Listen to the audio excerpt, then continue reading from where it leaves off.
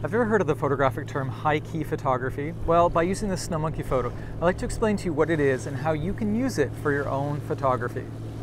High key photography is all about emotion, and we're talking about emotion of welcoming, of embrace, of lightness, of joy. And you usually find high key photography in genres such as wedding photography, of uh, children photography, of uh, newborn babies, all of these genres that require uh, a welcoming embrace, you're going to find high key photography. And what that means is that the image in total is usually on the bright side. If you could think of middle gray as 50%, of the picture where the, uh, the darker 50% is the lower and the upper 50% is brighter. High key photography would be on the brighter side. Now take a look at these snow monkeys.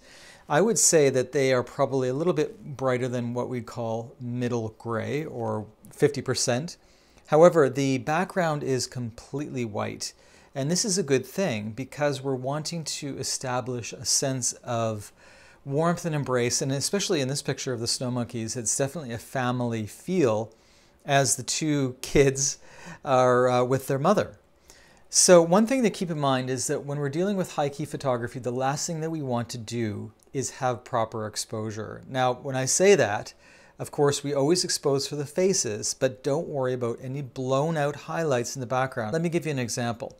I'm going to go to what's called auto in Lightroom. And this is what auto gives us. It dramatically reduces the sort of high key, real warmth and welcoming of this picture. So I'm just going to say no to that because I don't like the way that Lightroom suggested for this picture. I want a purposely bright picture and this is really good for any situation where you want that warm embrace look. Now keep in mind that you usually want to have a brighter background than a foreground. So if you can manage that through any means, in a studio you'd use a white background. Uh, here, this was snow in the background. It was a mountainside full of snow, so it worked really well. All I needed to do was overexpose the picture.